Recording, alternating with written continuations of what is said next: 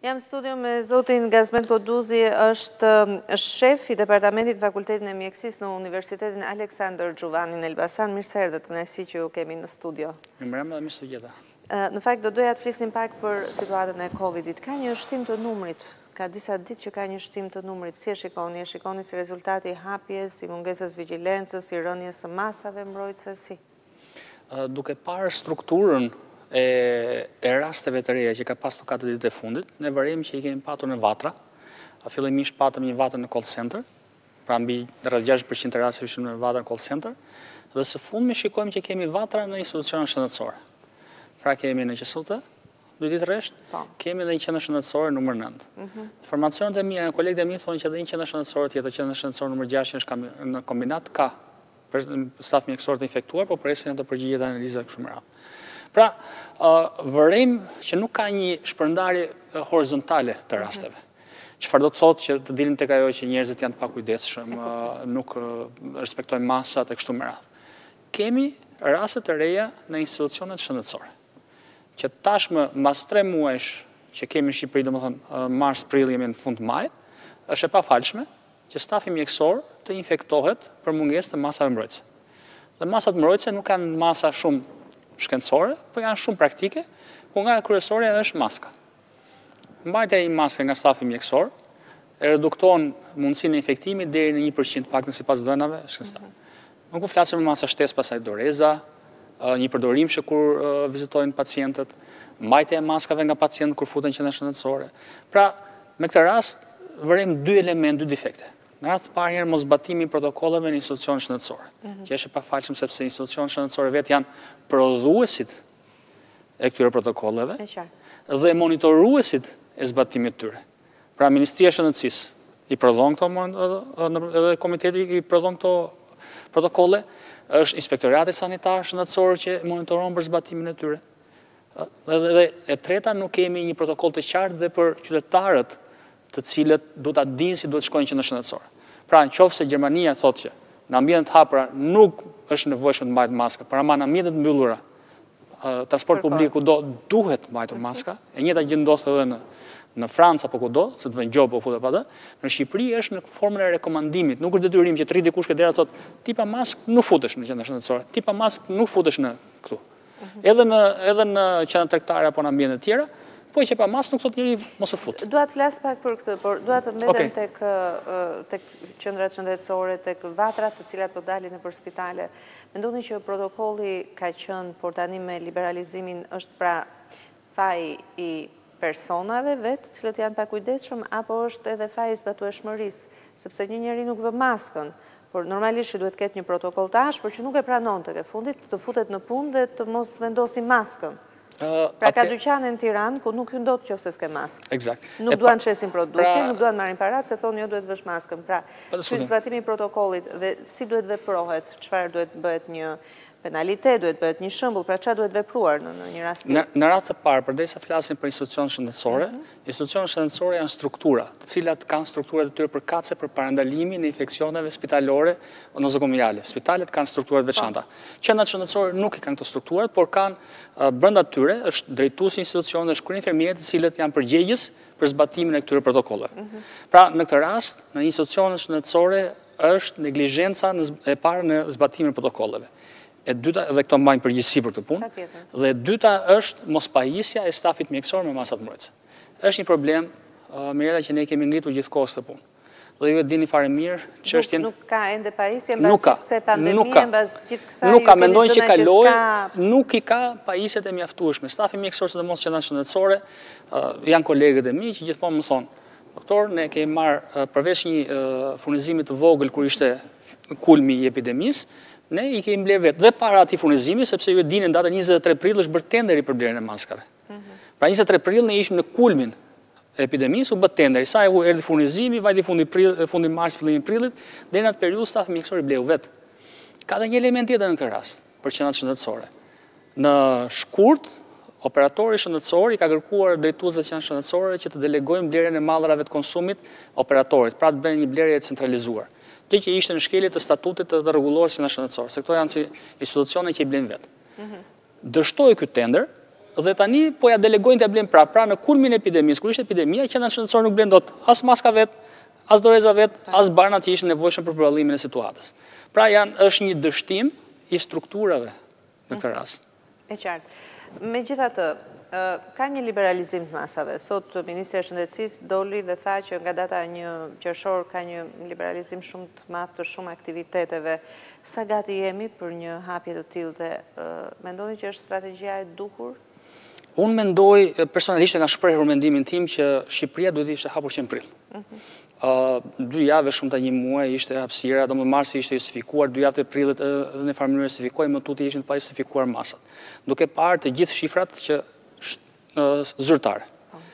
Unë ju kam dërguar një nga grafikët, ka qenë po. koeficienti i reproduktivitetit të reja.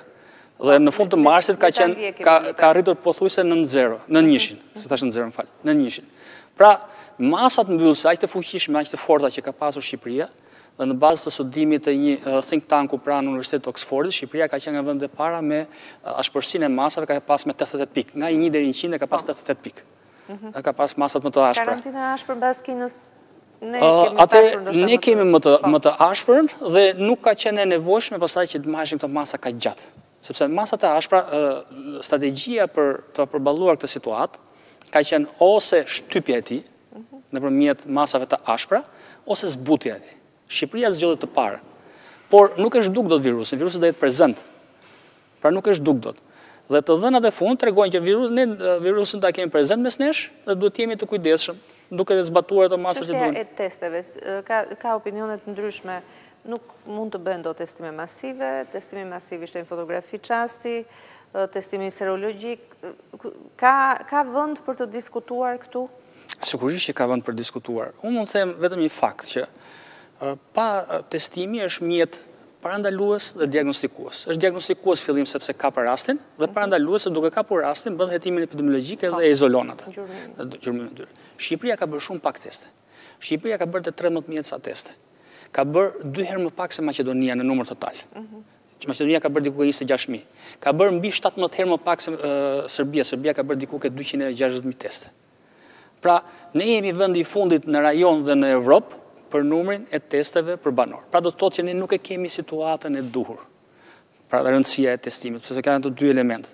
E para, e dyta, ne duke ditur situatën do të dish edhe masat e marra që që bëhen. Pra, ka treguar që Shqipëria, pavarësisht masave që ka marrë, ose testime të pakta, janë kapur më pak raste, janë kapur më pak fatalitete, që që vdekshmëri e tyre, dhe duket sikur situata është e bukur. Unë uroj të jetë kështu, sepse nuk dua që të ketë fatalitete, sigurisht, por nisur nga numri i paktë i testeve, del që ne nuk e kemi situatën të qartë ashtu siç duhet. Pra debati i testimit është ky. Dhe e para, e dyta, bota po bën tani testime për të parë ngarkesën e personave të infektuar në vendin e tyre. Greqia e nisi me me gati 5000 grupe pune. Shqipëria s'e ka nisur akoma këtë. Për çfarë na duhet? Na duhet për të parë nëse masat që morëm ne vlejtën apo s'vlejtën. Ky debat është hapur në Gjermani, sot Gjermania ka pasur koeficientin e mbylljes më të pak më të ulët se ne. Gjermania nuk mbylli as parqet. Po, po. Nuk mbylli as transportin publik. Njerëzit dilnin bënin po. fizkulturë, kështu me radhë, mbylli vetëm shkollat dhe fabrikat. Pra aty ku kishin grumbullime të mëdha. Jo më shumë se 5 veta, pra ishte shumë e butë. Gjermania, Suedia ishte pak më poshtë se ta, Anglia është e njëjta gjë. Shqipëria ndoqi shembullin e Italisë të veriut. Italia e Veriut u mbyll. Kur ishte kulmi. Kur ishte kulmi. Kur ishte kulmi. Por jo, jo masa paraprake. Jo masa paraprake. Ne arritëm brenda një jave, nga masat e para arritëm menjëherë te masat e po, po u mbyll. U mbyllëm total brenda një jave. 9 në datën 10 pati 13 u mbyllëm që po. nuk patën lëvizje, datën 20 në datën 20. Patëm rastin e parë pacientin zero. Eksakt. Ne brenda një jave dhjetë ditësh u mbyllëm në mënyrë mhm. drastike, ndërkohë që bota e bëri në mënyrë shkallë shkallë këtë punë. Ne themi që duhet të dimë se çfarë situate kemi kaluar. Çfarë lloj testi duhet? Çfarë na ndihmon në këtë në këtë situatë që jemi? Atë ka patur ka patur ka dy lloje testesh. Mhm. Është testi me tampon që bëhet për të parë po. nëse je infektuar apo jo. Është testi serologjik apo imunologjik, i cili tregon nëse e ke kaluar këtë apo jo. Po. Ky i dyti është testi që mund të bëhet tani në këtë periudhë për të parë sa persona e kanë kaluar këtë infeksion. E kuptoj. Pra, për të ditur situatën e duhur e para, dhe e dyta për të ditur dhe ku përqendruar dhe masat inteligjente që duhet të merren. Bota i ka hequr më izolimin, është debat i madh, dhe e ke dëgjuar dhe në Gjermani është bërë debat i madh me shkencëtarë për të thënë që shiko se lockdown-i apo mbyllja ishte e panevojshme në këtë situatë që ishte. Pra, jemi sjellë në mënyrë irracionale ndaj këtij virusi. Dhe duhet marrë masa inteligjente, sepse u pa që virusi nuk, nuk bënte dëm te të rinjtë te fëmijët e me radhë, pra bënte dëm te mosha e tretë mbi 65 vjeç dhe të sëmurët kronikë. Atëherë çfarë duhet? Masa kryesore është t'i ruajmë këto grupmosha dhe pjesa tjetër e popullatës të vazhdojë jetën normalisht. Megjithatë, do fillojë turizmi, nuk kemi të qartë për turistët e huaj, akoma nuk kemi të qartë se si do të jetë protokolli me ta, po, po mendoj që Shqipëria do të jetë e hapur se turizmi është një burim të ardhurash kudo jo vetëm Shqipëri. Burim të ardhurash dhe një ndër elementet kryesorë të ekonomisë vendase. Kështu që mendoj që do hapet dhe për të huajt. Mendoni që do të ketë një përkeqësim të situatës, ndoshta jo tani, por ndoshta në shtator, kur të kalojë vera, si e shikoni në kuadër me virusin këtë? Shiko, ka dy elementë që ndikojnë në këtë. E para njëra është që virusi nga të dhënat shkencore tregon që po i bie agresiviteti i tij, virulenca. Pra, nga të dhënat klinike që japin kolegët, tregojnë që dhe personat e prekur tashmë nuk e kanë më atë kuadër klinik në në mushkëritë e tyre siç kanë pasur personat e infektuar në mars apo në prill. Pra janë më të lehtësishëm pa po. pa pneumoni e kështu me radhë. E para, e dyta, personat që do vijnë do vijnë me një farë certifikate. Dhe certifikata jepet nga Qendra Europiane për Kontrollin e Sëmundjeve, e cila jep dhe hartën e vendeve që janë të sigurta ku njerëzit duhet të lëvizin. Edhe hapja e kufijve tani që po bëhet nga vende të ndryshme bëhet bazuar mbi këto rekomandime. Nuk po bëhet hapje për hapje. E kuptoj. Sepse aty pastaj fillojmë atë që u ndaluan fillim fare nga Wuhan apo të tjerë, mund të krijojnë vatra të reja. Sigurisht mund të ketë një asimptomatik që mund të jetë mbartës e kështu me radhë, po do krijojë, do virusi do do jetojë mes nesh. Nuk zhduket. Ne do të mësohemi që si të trajtojmë atë, si të merremi me të. Pra me masa inteligjente, duke ruajtur target grupet që janë të rrezikuar prej tyre, duke mbajtur një farë distance fizike, dhe masat higjienike. Dakord, megjithatë, me kaq sa shikojmë me sy të lirë, njerëzit dalin, ne dalim, ka harrojmë ndonjëherë që është virus, Shikoj që nuk respektohen distancat, po të ecësh rrugët e Tiranës nuk shikon, askush nuk i respekton distancat, madje këto kohët e fundit kanë filluar njerëzit të takohen, përqafohen. Janë relaksuar pak, po kjo situatë ka gati tashmë 3-4 javë që ndodh në Tiranë. Po, absolutisht. Edhe kur kishte karantin, unë kam parë një dy të diela me karantin që çdo gjë ishte po karantin. Jo.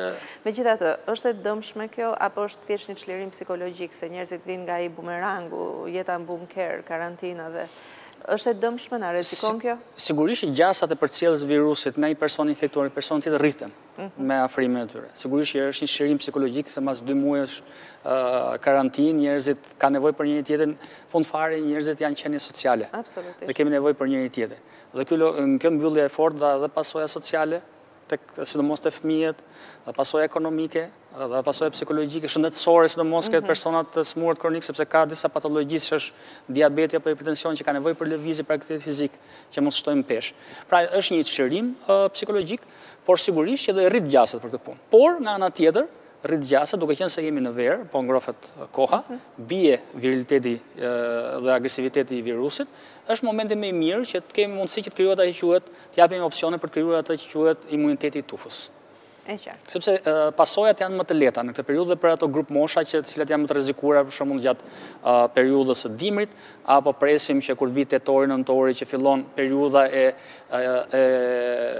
e virulenzës të, e viruseve, e gripeve sezonale, edhe mund të jetë, mund të ketë një rikthim apo një ringjallje e tij, por të paktën studimet e ndryshme dhe ekspertë të ndryshëm, thonë që edhe në qoftë se rikthehet, virusi se do jetë mes nesh, Sigurisht, nuk do ketë këtë virulencë apo këtë agresivitet që kishte në fillim. Qartë, dua të pyes në fund për këtë, por le të ndjekim pak grafikët ju lutem. Më ndihmoni me grafikët që t'i komentoj me Zotin Koduzi, po.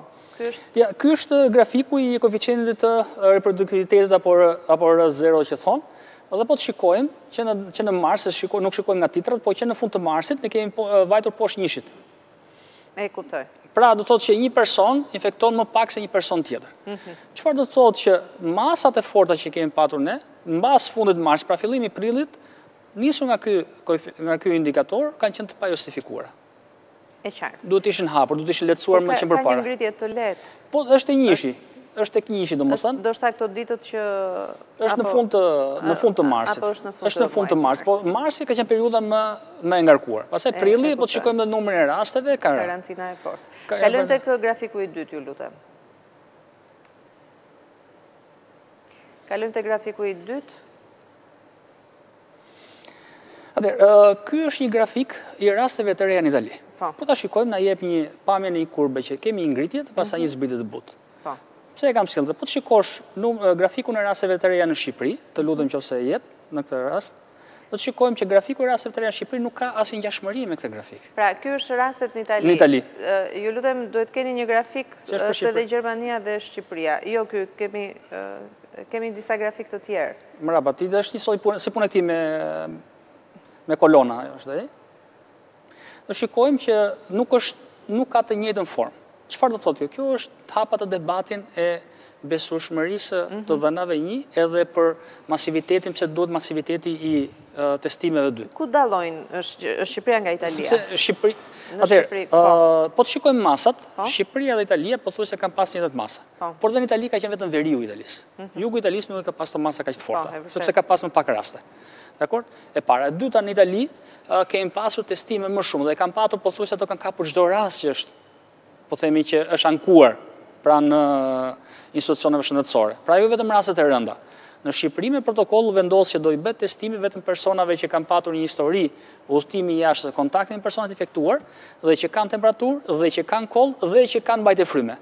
Pra, në bazë të këtyre tre treguesve, kritereve që ishin vendosë për të bërë tamponin, thoshte që ti ishe i sëmurë në stadin e tretë, në fazën e tretë, se pra ishe me komplikacione. Mhm. Ndërkohë që Italia dhe vendet e tjera nuk vendosën këto steka kaq lart.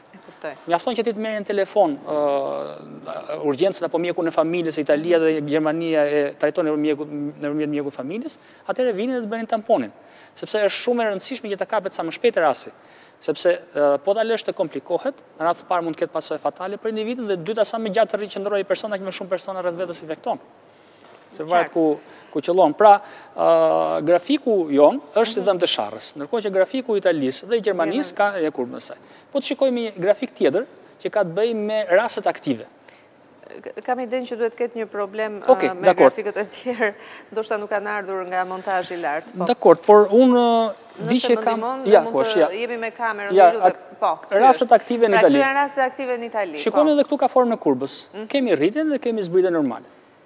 Dakord? Pra është një kurbë epidemike që quhet në gjuhën epidemiologjike. Mhm. Tregon rritje eksponenciale të rasteve dhe pastaj ulje. Pra kemi kemi epidemi në këtë rast. Po të kalojmë tek kurba e Shqipërisë, e njëjta gjë. Nëse kemi ndonjë grafik tjetër këtu. Dakord. Nëse kemi këtu ta po, ekspozojmë. Pra, këtu ju lutem me kamerën këtu, ju lutem. Operatori. Kjo është pra... Grafiku i rasteve aktive në Shqipëri. Grafiku i Shqipërisë. Dhe më nxirr grafikun e Italisë me atë që kemi në fajl edhe me këtë. Ju lutem mundësisht në splitter që të bëjmë një një krahasim, e shpjegon dhe po zoti Koduzi. E po. shikoni që është një vijë e butë që ka pak ngritje, ka ulje, ka ngritje, ka ulje, pra ka ndonjë dy kodrina, mhm. dhe prapë po si duket sikur po fillon ngrihet prapë. Pra nuk është një kurbë, shikon diferencën? Çdo individ me sy të lirë e dallon po. diferencën midis kurbës në Itali dhe mhm. kurbës në Shqipëri. Kurba e Italisë duket që është kurbë epidemike që quhet, kurse në Shqipëri duket kurbë pandemike. Pra do të thotë që është një sëmundje që është ekzistente, ka qenë ekzistente në Shqipëri. E kuptoj. Dhe do vazhdojë të jetë. E kuptoj. Pra kjo është diferenca midis tyre. Me zbutjen me faktin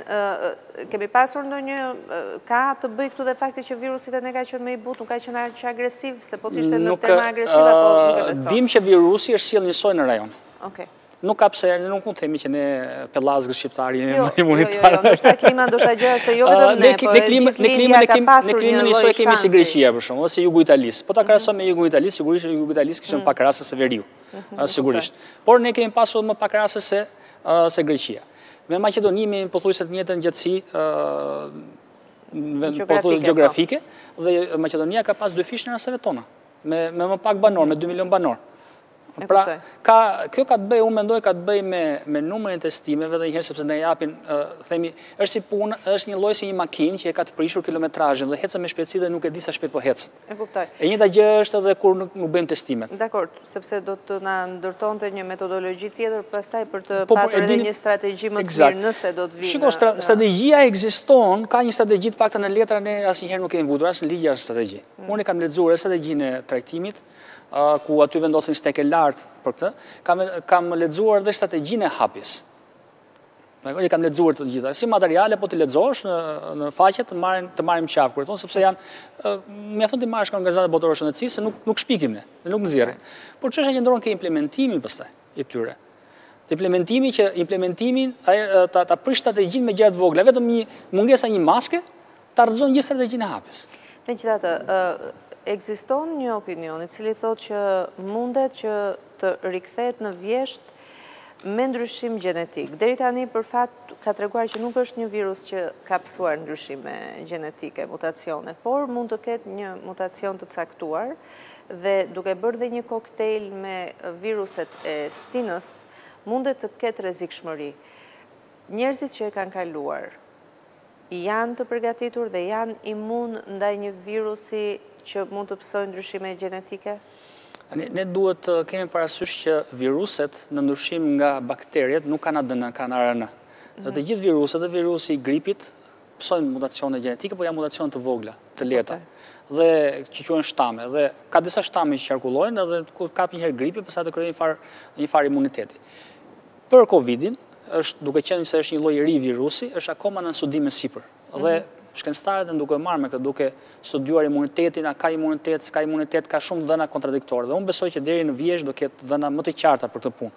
Por, të paktën nga të dhënat paraparake, thuhet që edhe po u kthye në vjeshtë, pra në, në periudhën e, e stinës së virozave, do jetë më i butë, nuk do jetë kaq agresiv. dhe ne do kemi mësuar më shumë, dhe do kemi mundësi të sillemi ndryshe, sepse në shëndetësi edhe në shëndetin publik, fokusi i punës është personi që është infektuar, nuk është personi i shëndetshëm. Çfarë do të thotë që diagnostikojmë personin e sëmurë, e izolojmë atë, bëjmë etiologjikë dhe personat e shëndetshëm vazhdojnë jetën normalisht. Dakord, por njerëzit që e kanë kaluar, se ne nuk e dimë numrin e saktë. Jo, nuk e dimë. Njerëzit që e kanë kaluar koronavirusin, janë më të pregatitur dhe më të fortë, pra kanë më shumë imunitet se ne të tjerët që nuk e kemi kaluar? Sigurisht, sepse vetë ky test serologjik që përmendëm pak më parë, mhm. bazohet ke IgG-t, imunoglobulinat G, që janë një gjurmë e sistemit imunitar që ka ngelur brenda në gjakun e tyre. Çfarë do të thotë që në qoftë se bie në kontakt përsëri me këtë virus, ka një imunitet të ngritur. Është pak a shumë efekti që jep vaksina. Mhm. Edhe vaksina ça është, terapi imunologjike, është që e injekton në organizëm mirë, krijon atë mur, imunitetin, pra njihesh me virusin e dobësuar, edhe pastaj kur vjen momenti që ti përballesh me virusin e egër, po themi në thonjëza, atëherë i ke muret e imunitetit të ngritura dhe nuk infektohesh. Infektohesh, futet virusi në organizëm, por nuk krijon sëmundje. E qartë. Nëse ne do të kemi një hapje të aktiviteteve, hapen çerdhet, kopshtet, do të hapen gjykatat, matura shtetërore do të ketë provimin, e folëm pak më parë, e prekëm që njerëzit janë liruar, nuk po i ruajnë dot këto distancat, maskat, dorashkat, e tjera, e tjera. Nëse njerëzit infektohen dhe nuk e e kalojnë lehtë në verë. Ardhja e viruseve të tjera, ndërkohë që ti e ke virusin e mbartë, por mund ta mbartësh me ato shenjat që ne kemi zakonisht kur kemi grip, na dhemb koka, lotim sysh, ndonjë temperaturë, po e kalojmë dy ditë me një paracetamol apo diçka. Mendoni që mund të ketë rrezikshmëri në momentin që me këtë gjendje që vijmë nga vera na kap vjeshta dhe dimri me viruset? Pyetja juaj është shumë e saktë dhe më lejoni të kujtoj që Një nga arsyet që në Itali u përhap kaq rëndshëm dhe kaq shumë virusi ishte ngatërrimi i mhm. Covidit me virusin e stinës. Po. Pra në Lodi të Italisë ku ishte në atë mjekët e menaxhuan si një virus mm. i virus të stinës. Po. Nuk e dinin që ka kishte dalë ky akoma. Tashmë njihet që ka dhe një virus tjetër ka teste të përcaktuara për ta bërë këtë dhe njerëzit bëjnë analizat mhm. dhe definojnë dhe përcaktojnë nëse është i infektuar me Covidin apo jo. Sigurisht që masat mbrojtëse duhet të jenë, pra distanca fizike, higjiena, maska në ambjente të mbyllura pa diskutim që duhet mbajtur deri sa të arrihet ajo imuniteti i tufës apo të bjerë agresiviteti i virusit apo të dalë vaksina, që mhm. unë dyshoj që mund të dalë shpejt vaksina sepse duhen vite të tëra mhm. për të nxjerrë një vaksinë apo një bar sepse vetë procesi research and development ka tre katër faza që duan vitet e tyre, siguria në fund fare bën dëm apo bën mirë e kështu me radhë. Ka një deadline për nga fundi i vitit apo besoni se është e arritshme? Nuk e di, nuk e di me thënë të drejtën, por çështja qëndron që vetëm qoftë se kanë patur paraprakisht kërkime shkencore, mhm, jo për Covidin e ri, por për koronavirusin në përgjithësi, koronavirusi si virus, është një virus që ka mijëra vjet që bashkëjeton me njeriun. Mhm. Pra, duhet të ketë patur kërkime të mëparshme, Vetë ky laboratori ku mendohet që ka dalë në Wuhan, ka, është laborator që ka vite që, kërko, që bën kërkime shkencore, të financuar më përpara dhe nga Amerika, dhe nga Anglia, dhe nga OBSH-ja, dhe nga Franca, e të gjithë me radhë. Pra, duhet të kenë një know-how tashmë, një eksperiencë, dhe mbase kjo është përdorur për, ta, për të përshpejtuar ritmet. Nuk e di, të shikojmë, por duke qenë se virusi, thamë që e ndryshon strukturën e RNA-së, jo jo shumë, por e ndryshon, po nga një shtam në shtam tjetër, ndryshon dhe vaksina pastaj. Dakord, e mbyllim me vaksinën, por le të themi, ftohja e ardhja e koktejlit të viruseve të tjera, nëse ke koronavirusin, por je asimptomatik, apo vjen nga një verë e nxehtë, ku edhe klima, apo nxehtësia të ka ndihmuar, e... E komplikon situatën e dikujt? Sigurisht, sepse vetë viruset e stinës mhm. krijojnë një farë uljeje të imunitetit të organizmit, ose një lodhje le të themi të sistemit imunitar. Në qoftë se koronavirusi apo Covid-i mbivendoset mbi këtë situatë, sigurisht që imunitetin e gjen më të lodhur dhe mund të mbivendoset me komplikacione. Ashtu siç ndodh edhe me viruset e stinës, me viruset e stinës. Është e njëjta gjë. Po e gjete, po e gjeti organizmin e lodhur nga një virozë, një, po vendos një mikrob, kalon në pneumoni, në komplikacione, në meningite, e kështu me radhë. Pra ka shumë komplikacione. Madje, virozat e stinës kanë më shumë komplikacione se COVID-i, të paktën deri tani, nga të dhënat që janë. E qartë, pra e komplikon situatën. Sigurisht që e komplikon, por prandaj duhet të jemi të kujdesshëm. E komplikon situatën jo vetëm kjo, por dhe mënyra e jetesës të njerëzve gjatë stinëve të ftohta. Sepse janë dy arsye, është çështja që ftofet ajri, mhm. pra rrugët janë më vulnerabel e para, e dyta qëndrojmë në ambientet e mbyllura më shumë, Nuk qëndrojmë në ambiente të hapura. Nuk ajroset shpia si më parë. Edhe, jo veç shpia, po dhe lokalet. E qartë, lokalet, ambientet, po dhe qëndrojmë, zyrat. Qëndrojmë, pimë kafen jashtë, në dimër do pish kafen brënda. E kuptoj. Pra të gjithë këto elemente ndikojnë që të rriten gjasat për të marrë virozat e stinës, por dhe Covidi që mund të jetë pjesë, do bëhet pjesë normale. Pra duhet të kemi kujdes. Sigurisht. Domethënë të ta gëzojmë këtë verë, por me kujdes të shtuar. Ne duhet të gëzojmë çdo stinë, por duhet të jemi të kujdesshëm. E qartë. Unë ju falenderoj shumë, zoti Koduzi, që ishit në studio me ne, jeni gjithmonë i mirëpritur. Isha me zotin Gazment Koduzi, është shefi i departamentit në Fakultetin e Infermierisë në Universitetin Aleksandër Xhuvani në Elbasan. Mirë, ne do të flasim fakt për Covidin, por do të flasim për Covidin Sa afekton futbollin? Sa gati është futbolli, i cili edhe në Shqipëri do të hapet nga data tre qershor, në Itali tashmë janë bërë të gjitha të dhënat për sa i përket qoftë kupës, qoftë seri.